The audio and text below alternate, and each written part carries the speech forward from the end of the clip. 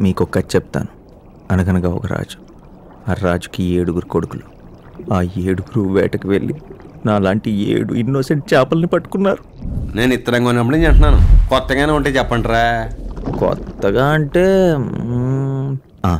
Open చేయి. ఈ teaser చూడు.